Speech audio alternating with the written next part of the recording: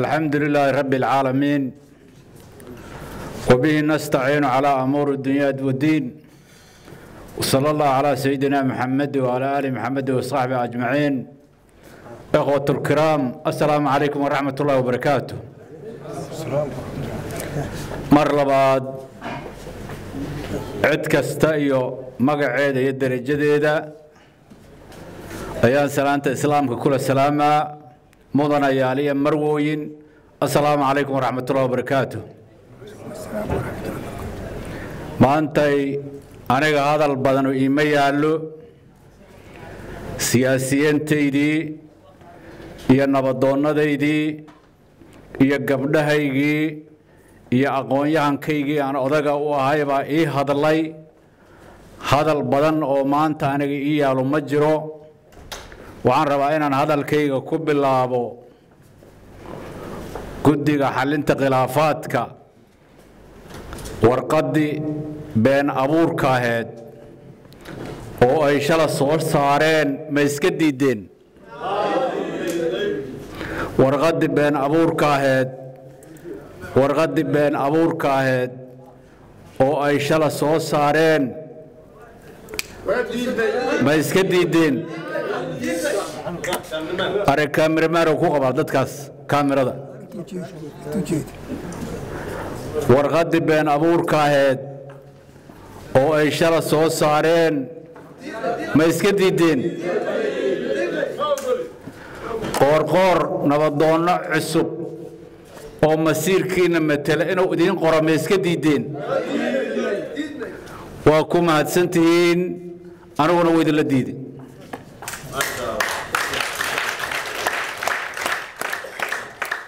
waxaan rabaa dadkaanu dad xaraarad la waaye dad dhaqan soo jireena la waaye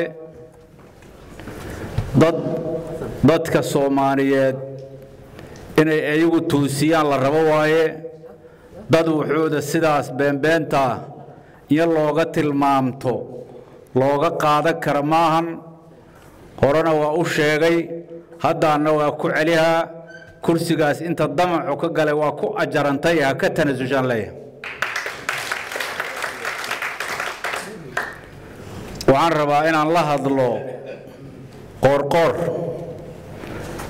Madaxweyne qoorqoor galmudug oo dhisan oo rag soo dhisay oo isku toosanaad u timid. Annagu kaa yeeli mayna inaad odayaal noo qorto kaa yeeli mayna inaad saas rabta noola dhaqanto. Waxa aad ku dheele waa derajadaada anuga naguma dheeli kartid.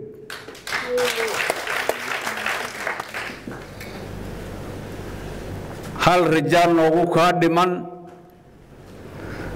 Waxaan is leennahay akhyaaraa joogta galmudug dhistay. Oo uu ka mid yahay suldaan jaamacseed oo uu ka mid yahay cimaan cumar oo uu ka mid yahay xaange war akhyaartaan isla joogi jirnow oon galmudug isla dhisnay ninkii loo dhiibo madaxda looga dhigay sow u dhaqmaa miyaad la qabtiin mase waa ka dhacaysiinaan idin leennahay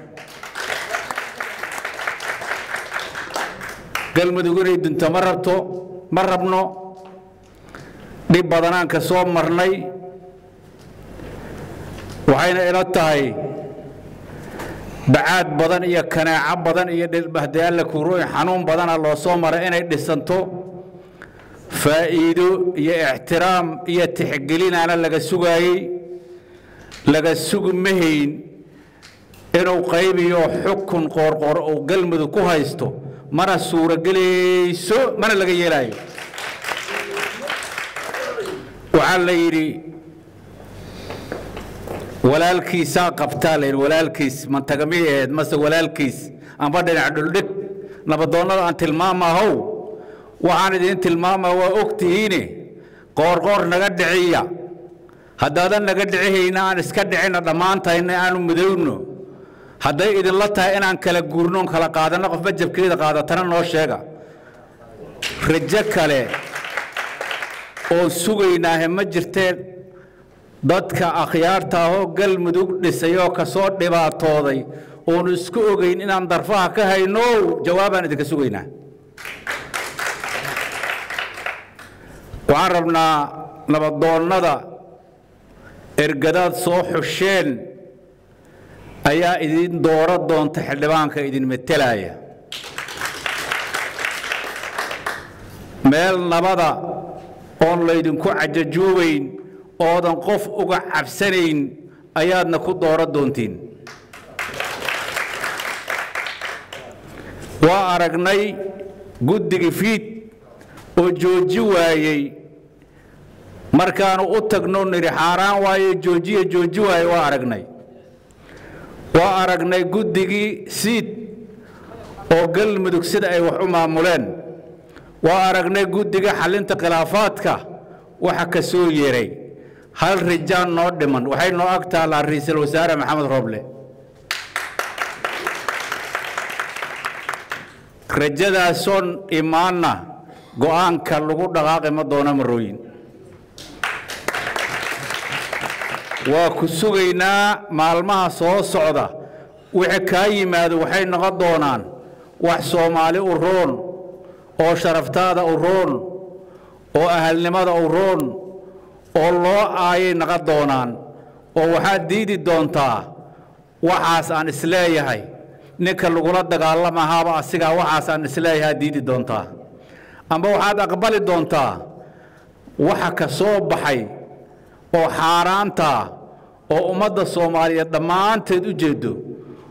Wuxuu idhi boqol iyo toban afaraan aqaan ka akhrisamaha ka adag wax kastoo qurux badan oo aan ku ixtiraamnay oo aan nimankaas u geynay oo aysan mudnayn in loo geeyo waxay ka qaateen ninkii soo diray waxa uu soo sheegay ka qaateen. Ra'iisul wasaare minaad la qaadatana waxaa kuu bilowday maalmahaaga xumaay. Minaad ka diiddane waxaa kuu bilowda maalmahaadii wanaagsaneed sharafta ku lahaan lahayd.